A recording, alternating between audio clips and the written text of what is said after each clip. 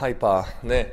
자, 오늘은 여러분들한테 약속 드렸던 허리 아프신 분들, 디스크가 있으신 분들은 지금 이 운동을 좀 조심하셔야 돼요. 어찌됐든 정말로 결과적으로 디스크 있으신 분들은 또 다른 운동을 하셔야 돼요. 근데 제가 말씀드린 건 허리, 이 low back pain, 즉 허리 요추 통증에 대해서 좀 말씀드릴 거예요.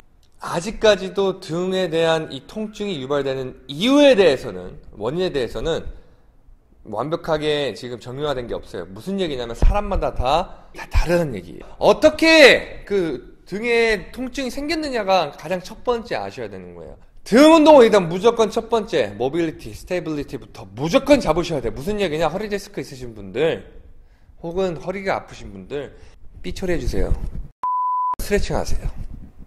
제가 말씀드리는 뭐 처음에 hollow position을 하세요, L-sits를 하세요 이런 것은 예방법이 되는 거지. 즉 건강한 사람한테 백신 놓는 거지.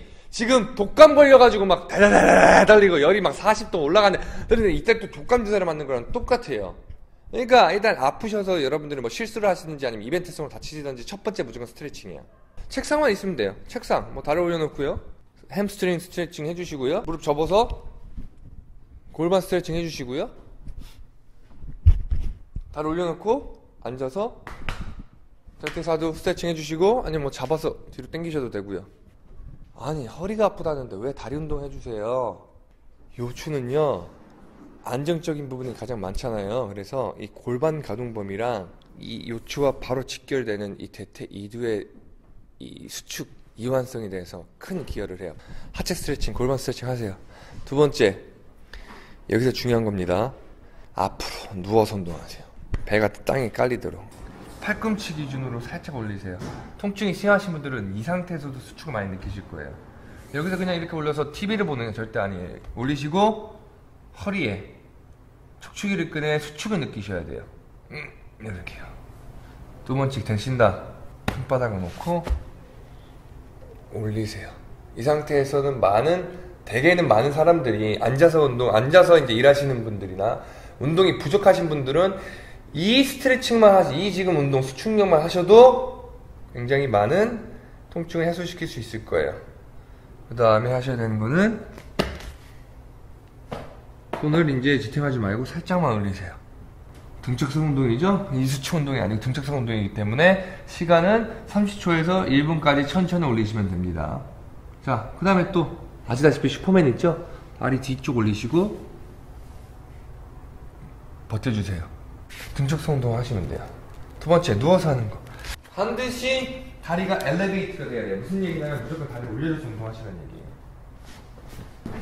자, 이거 이 자세랑 이 자세랑 무슨 차이냐면 이 자세는 요추가 지금 활성화되지 않은 상태예요. 편한 자세잖아요. 그렇죠? 이 상태에서 운동을 하게 된다. 그럼 허리가 굉장히 많이 아플 수 있어요. 그래서 우리는 허리를 미리 올려놔서 요추를 활성화를 좀 시켜놓을 거예요. 이때서 뭐 어떻게 해요? 상체 움직이시면 돼요. 살짝 올리세요. 수축 느끼죠? 참으세요. 내리고 살짝 올리세요. 수축 느끼세요. 피세요. 나중에 이게 되신다? 올리세요. 손을 뒤로 들리세요. 버티세요. 똑같이 등적성 운동이기 때문에 30초에서 1분 하세요. 야, 이것도 잘 된다. 치우세요. 다리 올리세요.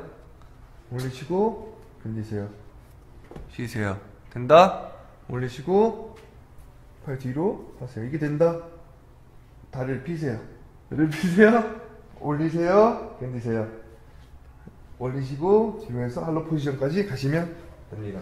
자, 제가 되게 허리가 아프신 분들에게는 수축성 운동을 안 가르쳐 드려요. 왜냐면 되게 탈출성 디스크가 많으신데 그러신 분들이 수축성이 되는 운동 뭐, 뭐 hyperextension이나 아니면 뭐 crunch나 이렇게 하실 때 갑작스러운 복압에 대한 증가력으로 오히려 그 탈출된 디스크를 더 exaggerate라 그래요.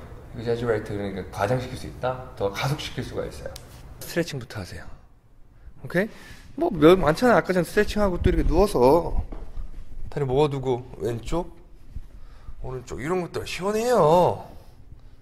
네, 올리시고 한쪽 다리를 잡으셔서 기체하시고 많아요. 모빌리티부터 먼저 활성화시켜 주시고 등척성 운동 앞으로 눕고 뒤로 눕고 하는 거 동시에 하셔서 여러분들이 좀 더 포괄적인 이제 복직근이라든지 코어를 좀 활성화시킨 다음에 중구편에서 좀 더 내가 좀 난이도가 있는 거 말씀드릴게요.